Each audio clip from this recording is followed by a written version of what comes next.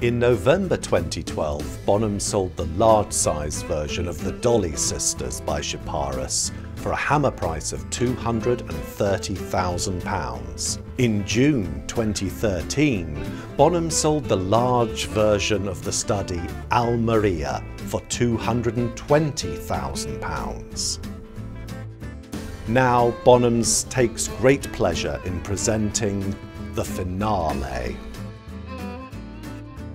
Romanian by birth, Chiparus established his workshop in the decadent atmosphere of Paris in the 1920s, the Jazz Age.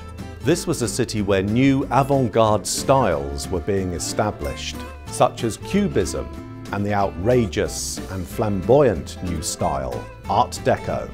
Chiparus quickly established a relationship with foundries who could cast bronze for him and also with skilled carvers of ivory.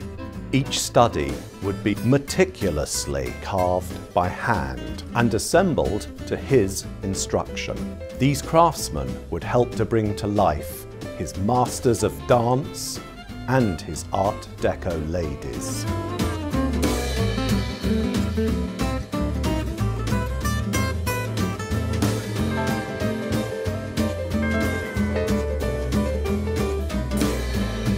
Finale represents Chiparus's fascination with the ballet russe and its impresario Sergei Diaghilev. Diaghilev took 1920s Paris by storm with his energy and imagination. His shows weaved together traditional elements of Russian folklore combined with electrifying dance and spectacle that paid tribute to the affluent age of jazz.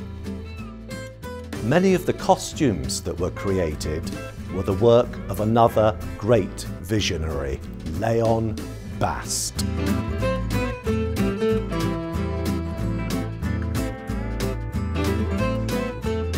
The central figure depicted in the finale is thought to be lead dancer Vaslav Nijinsky. The Nijinsky figure wears a skin-tight costume that is adorned with jewels and gilded highlights. The dramatic flame red costume evokes dramatic spectacle, which was the essence of a ballet russe performance. Diaghilev wanted his audience to imagine the future and Chiparus manages to capture here that futuristic vision and bring it to life.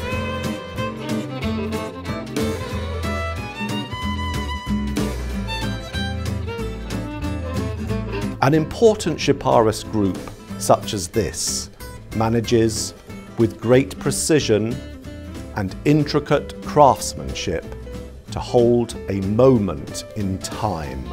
The finale has all the elements of a triumphant curtain call, with an invisible audience seemingly clamouring for more.